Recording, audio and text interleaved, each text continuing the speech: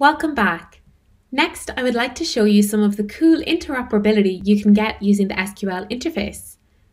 Firstly, I'd like to show how we can run SQL from our KX Dashboards product. Here I am sharing dashboards with our trips data loaded up. Now I'm in design mode and I'm going to edit one of the widgets. We can see by default it's populated with Q code. We do have the option up the top to change to SQL. Let's do that and paste in our SQL equivalent code. Now if we select apply, we see the data is there as before, now populated using SQL instead of Q. Let's just edit that again to make sure it's working. Let's add a filter on the query to only select where passengers are greater than 2. And now we see in the widget we're only getting those results back. Very cool. Now it's not just our own tools that we integrate with. We can also create dashboards in popular products such as Tableau, Power BI, Grafana, and DB Visualizer.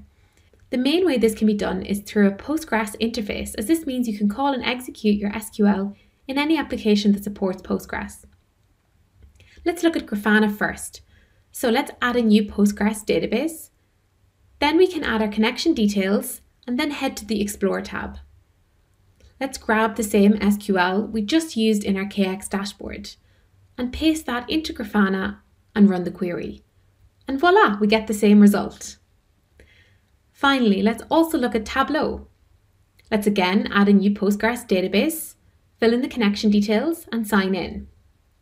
We can see we have the trips table loaded for us ready to query, or by opening a new sheet and dragging in some columns, we can create a nice visualization.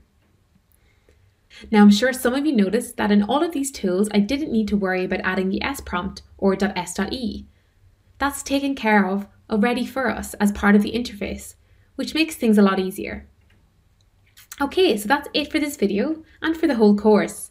I'll see you in the next video, which is our final one, where I will share the end of course assessment details and some info on how you can get your certificate too.